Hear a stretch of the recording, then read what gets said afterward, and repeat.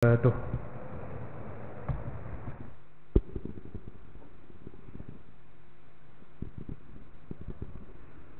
الله أكبر الله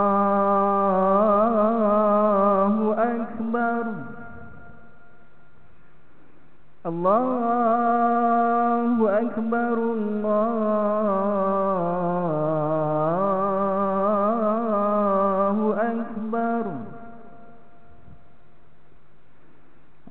أن لا إله إلا الله.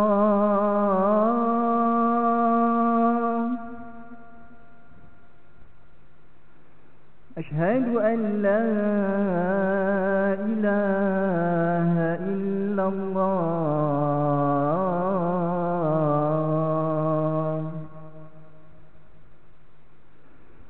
أشهد أن محمد رسول الله.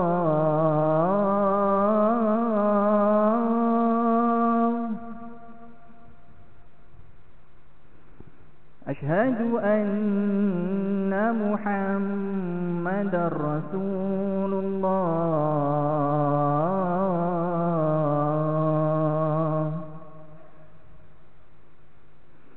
حي على الصلاة.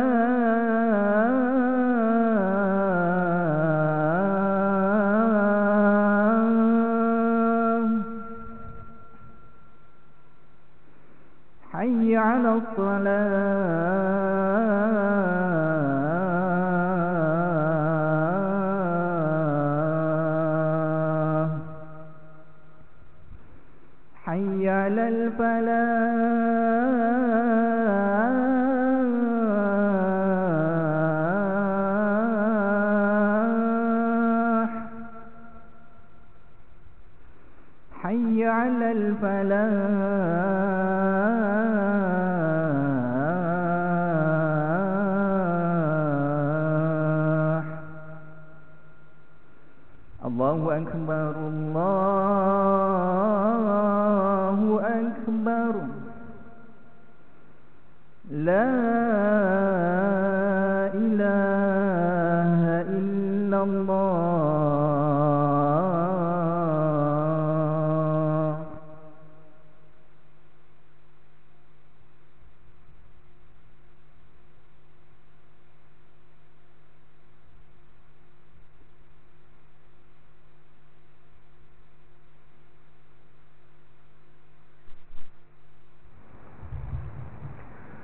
الحمد لله القائل. وأنفقوا في سبيل الله ولا تلقوا بأيديكم إلى التهلكة وأحسنوا. إن الله يحب المحسنين. أشهد أن لا إله إلا الله وحده لا شريك له. وأشهد أن محمدا عبده ورسوله. اللهم صل وسلم على سيدنا محمد وعلى آله وصحبه أجمعين. أما بعد فيا أيها المسلمون اتقوا الله اتقوا الله اتقوا الله. أوصيكم وإياي بتقوى الله. فقد فاز المتقون. قال الله تعالى يا أيها الذين آمنوا اتقوا الله حق تقاته ولا تموتن إلا وأنتم مسلمون Muslimin yang dirahmati Allah Subhanahu wa taala sekalian. Saya menyeru agar kita bersama-sama meningkatkan ketakwaan kita kepada Allah dengan melaksanakan segala perintahnya dan meninggalkan segala perkara yang dilarangnya. Mudah-mudahan kita diberikan kebahagiaan di dunia dan di akhirat. Pada hari yang mulia ini, mimbar akan membicarakan khutbah yang bertajuk Gejala dadah sekali cuba merana selamanya. Hadirin Jumaat yang dirahmati Allah Subhanahu wa taala. Tubuh manusia adalah amanah dan ciptaan Allah Subhanahu wa taala. Ia adalah sebaik-baik kejadian, sebaik-baik kesempurnaan dan keindahan ciptaan Allah Subhanahu wa taala. Oleh itu janganlah sia-siakan dengan dadah. Janganlah dizalimi dengan dadah dan janganlah disakiti badan ini dengan dadah. Renungkanlah bahawa kita diciptakan oleh Allah Subhanahu wa taala dengan seluruh sifat kesempurnaan sebagai seorang hamba yang dibekalkan dengan akal fikiran yang waras dan anggota badan yang sempurna. Akal yang waras jangan dipandu dengan dadah. Sebaliknya akal yang waras hendaklah dipandu dengan wahyu ilahi supaya dapat melahirkan tindak tanduk dan perlakuan yang baik serta bertepatan dengan kehendak syariat. Sifat kesempurnaan hamba ini adalah demi mencapai maksud dan dan tujuan penciptaan manusia iaitu untuk beribadah kepada Allah Subhanahu wa taala bukannya menghisap dadah. Firman Allah dalam surah Az-Zariyat ayat 56, A'udzu billahi minasyaitonir rajim. Wa ma khalaqtul jinna wal insa illa liya'budun. Dan ingatlah, aku tidak menciptakan jin dan manusia melainkan untuk mereka beribadah memperhambakan diri mereka kepadaku. Berdasarkan ayat ini Allah Subhanahu wa taala mencipta manusia supaya menjadi hamba yang sentiasa beribadah kepadanya dan menjauhi perkara yang merosakkan diri dan akal iaitu terjerumus dengan najis dadah. Namun jika akal dinafikan kewarasannya dengan menghisap dadah maka akal akan gagal berfungsi untuk memahami dan melaksanakan perintah Allah dan akhirnya akan menzahirkan tindakan yang songsang, mabuk, khayal dan menyalahi tata tata susila manusiawi yang hakiki. Firman Allah dalam surah Al-Baqarah ayat 195 yang dibacakan di awal khutbah tadi bermaksud dan belanjakanlah apa yang ada pada kamu kerana menegakkan agama Allah dan janganlah kamu sengaja mencampakkan diri kamu ke dalam bahaya kebinasaan. Dan baikilah dengan sebaik-baiknya segala usaha dan perbuatan kamu. Kerana sesungguhnya Allah mengasihi orang-orang yang berusaha memperbaiki amalannya. Melakukan perkara yang merosakkan akal fikiran seperti mengambil dadah adalah diharamkan kerana ia membunuh dan merosakkan akal. Sedangkan akal yang waras adalah pusat taklif iaitu melaksanakan kewajipan ibadah menurut syariat Islam. Akal merupakan mahkota seseorang manusia dan ia memiliki nilai yang membezakan antara manusia dan haiwan.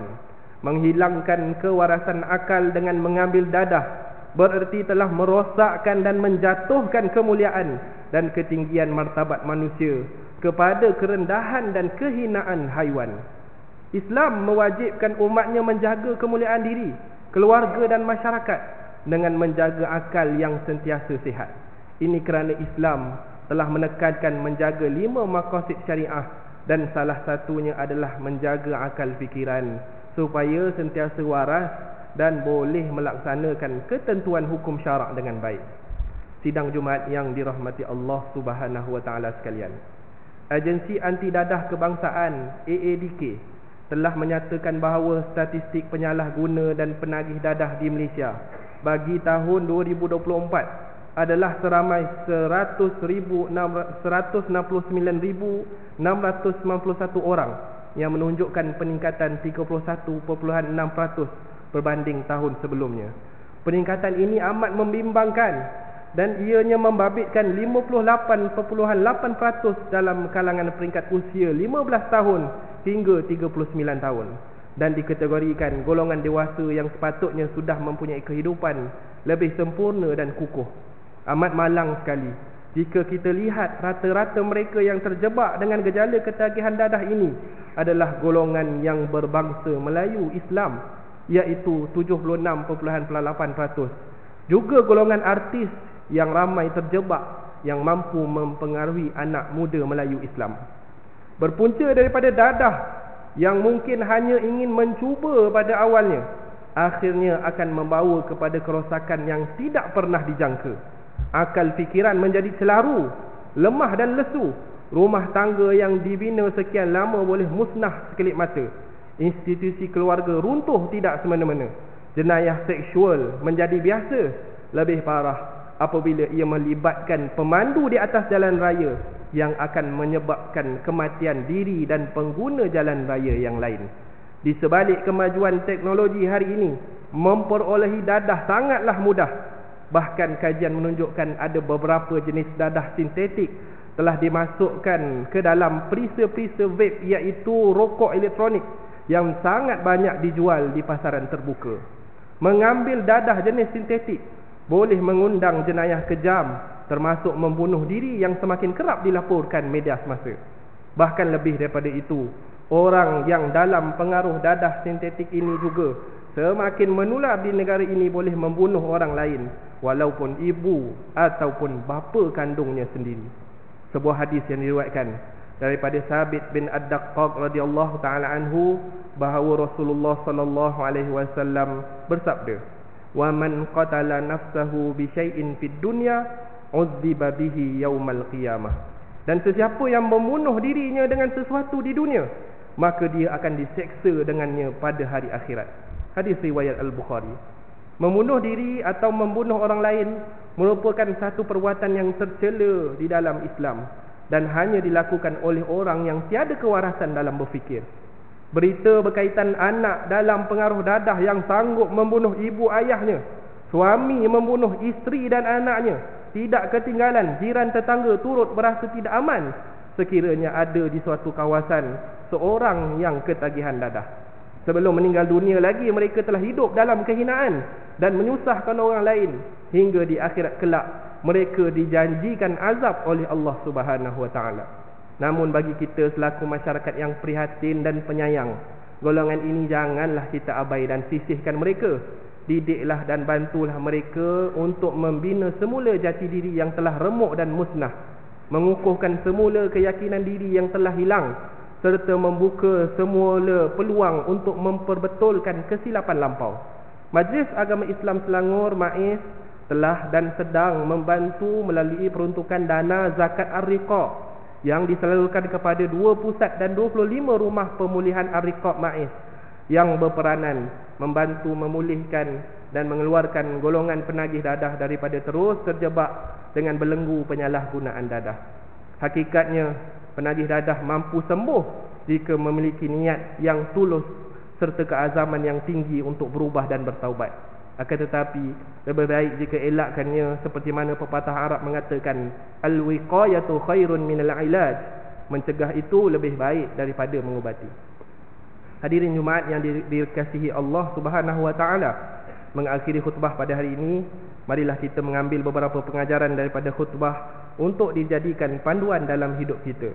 Yang pertama, umat Islam hendaklah menjauhi dadah kerana ia diharamkan oleh Islam yang mendatangkan bahaya dan kerosakan kepada diri, keluarga, masyarakat, negara dan agama.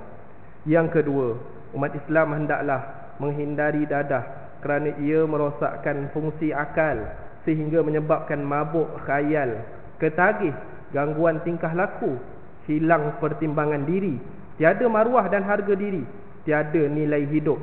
Kehidupan tiada erti sehingga seperti bangkai bernyawa yang kematiannya boleh berlaku bila-bila masa dan di mana jua. Yang ketiga, umat Islam sebagai peneraju keluarga luangkanlah masa yang berkualiti bersama anak-anak dan pasangan masing-masing supaya setiap ahli keluarga sentiasa rasa dihargai dan disayangi. Yang keempat, umat Islam hendaklah sentiasa berusaha berdoa dan bertawakal kepada Allah dalam meniti hari-hari mendatang agar kita, pasangan dan zuriat keturunan kita dijauhi daripada terjerumus ke dalam kancah ketagihan dadah yang membunuh jiwa dan merosakkan masa depan. Na'udzubillahi minasyaitonirrajim. Alladzina amanu wa 'amilus salihati tuba lahum wa husnu ma'ab. Orang-orang yang beriman dan beramal soleh, mereka akan beroleh kebahagiaan yang amat mengembirakan dan tempat kembali yang sebaik-baiknya. Surah Ar-Ra'd ayat 29. Barakallahu li wa lakum fil Qur'anil azim wa nafa'ani wa iyyakum bima fihi minal ayati hakim wa taqabbala minni وتقبل مني ومنكم تلاوته إنه هو السميع العليم. أقول قولي هذا وأستغفر الله العظيم لي ولكم ولسائر المسلمين والمسلمات فاستغفروه إنه هو الغفور الرحيم.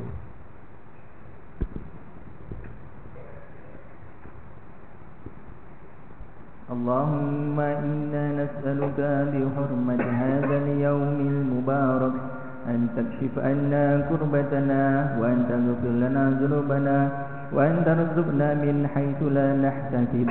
برحمتك يا أرحم الراحمين. والحمد لله رب العالمين.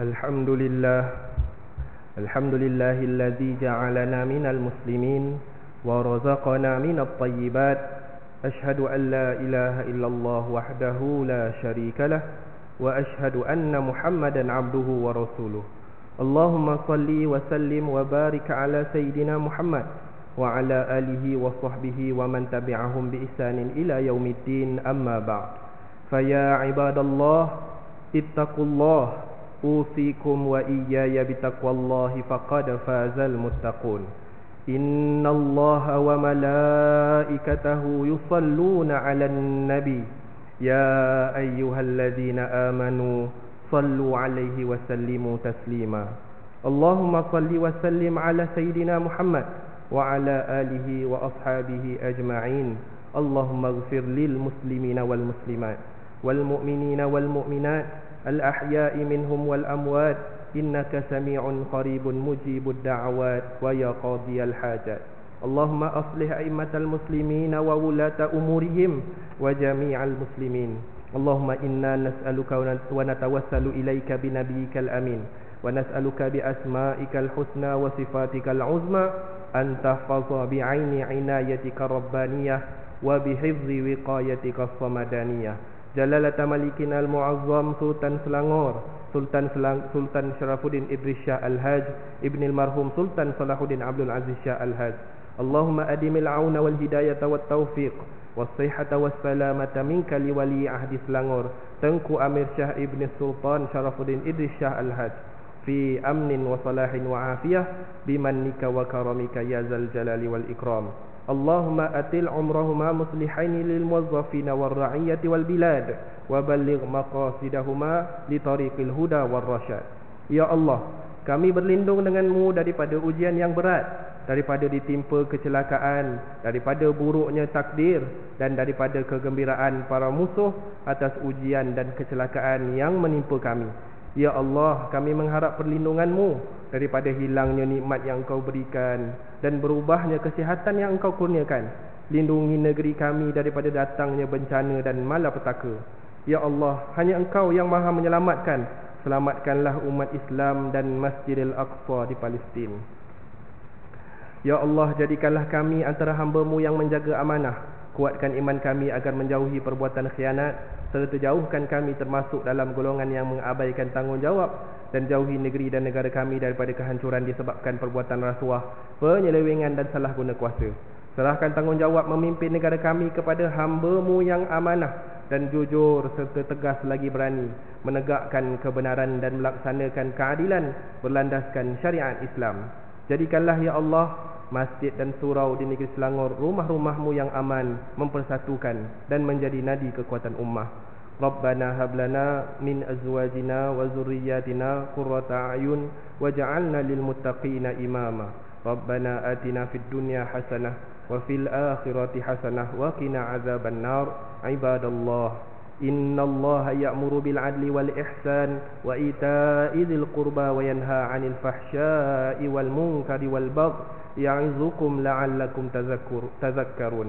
فاذكروا الله العظيم يذكركم واشكروه على نعمه يزدكم واسألوه من فضله يعطكم ولذكر الله أكبر والله يعلم ما تصنعون أقيموا الصلاة.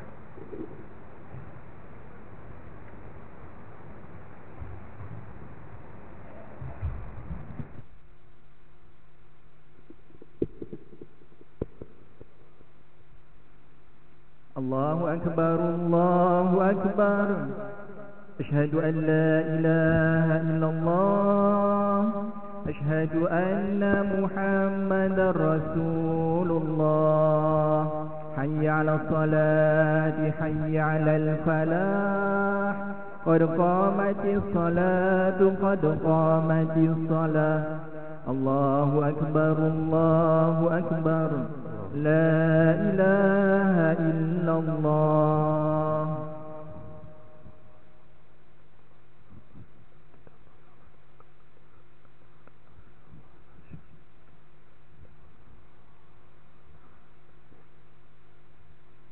tahu wa'tadilu la takhtalifu fa takhtalifa qulubukum. Terus nampakkan sof kalau ada ruangan kosong di hadapan tuan-tuan tak penuhkan. Pastikan telefon pemimpin tuan-tuan berada dalam keadaan senyap. Insyaallah imam akan bacakan qunut nazilah pada rakaat kedua.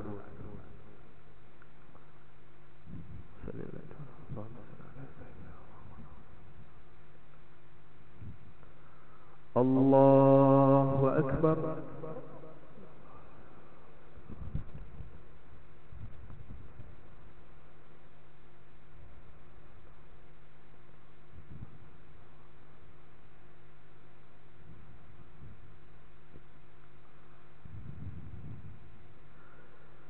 بسم الله الرحمن الرحيم.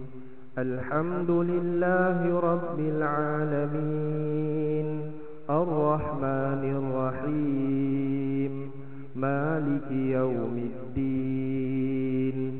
إياك نعبد وإياك نستعين.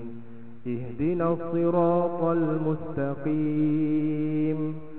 صراط الذين أنعمت عليهم غير المغضوب عليهم ولا الضالين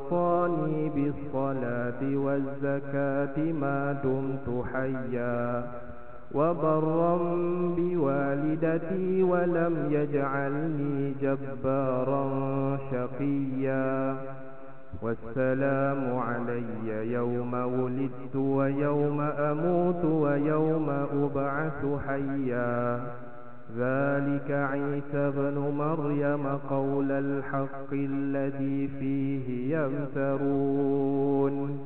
ما كان لله أن يتخذ من ولد سبحانه. إذا قضى أمرا فإنما يقول له كن فيكون. الله أكبر.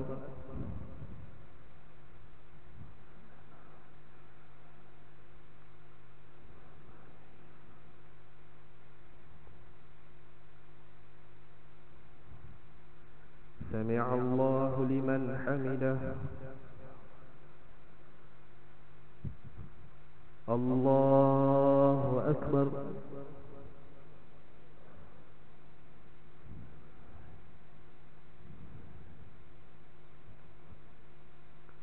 الله أكبر.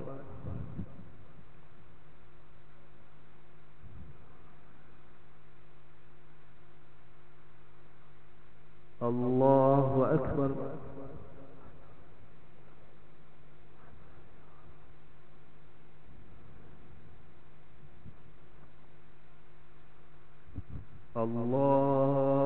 الله أكبر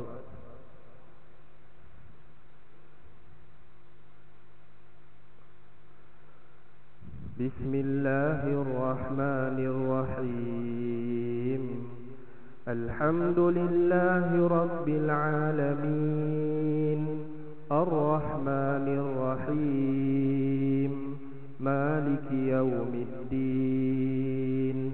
إياك نعبد وإياك نستعين. اهدنا الصراط المستقيم.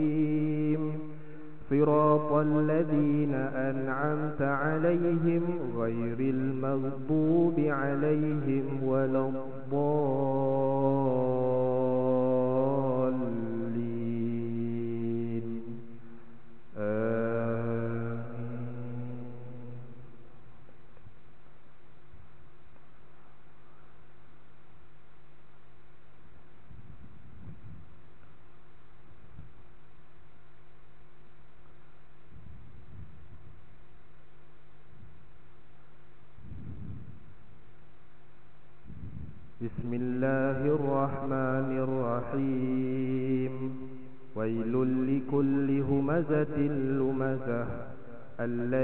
جمع مالا وعدده يحسب أن ماله أخلده. كلا لينبذن في الحطمة وما أدراك ما الحطمة. نار الله الموقدة التي تطلع على الأفئدة. إنها عليهم مؤصدة في عمد ممددة. الله أكبر.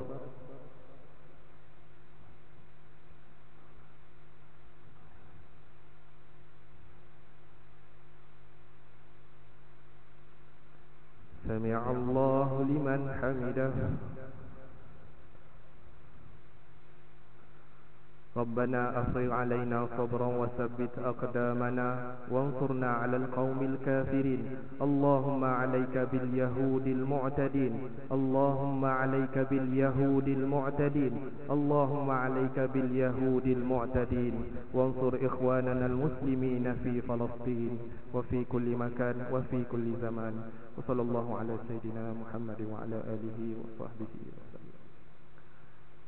الله أكبر.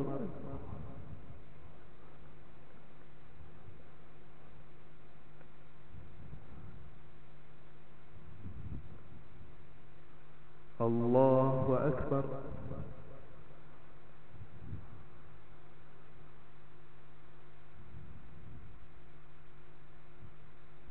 الله أكبر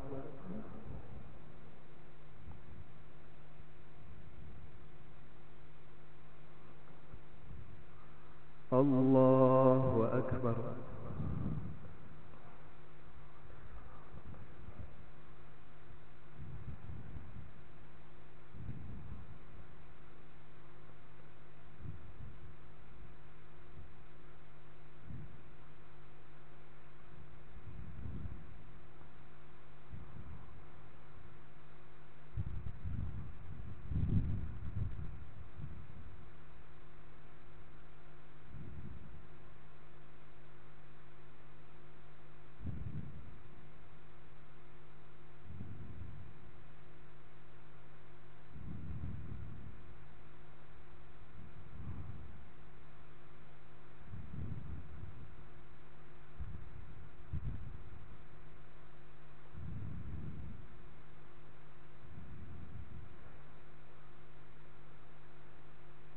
السلام عليكم ورحمة الله. السلام عليكم ورحمة الله. استغفر الله العظيم الذي لا إله إلا هو الحي القيوم وأتوب إليه. أستغفر الله العظيم الذي لا إله إلا هو الحي القيوم وأتوب إليه. أستغفر الله العظيم الذي لا إله إلا هو الحي القيوم وأتوب إليه. لا إله إلا الله وحده لا شريك له. له الملك وله الحمد يحيي ويميت وهو على كل شيء قدير. لا إله إلا الله وحده لا شريك له له الملك وله الحمد يحيي ويميت وهو على كل شيء قدير.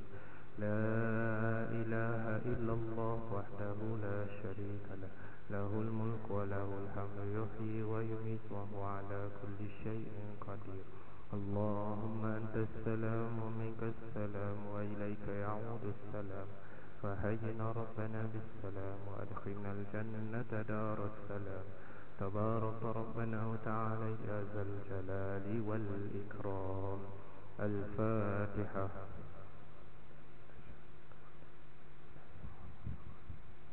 الحمد لله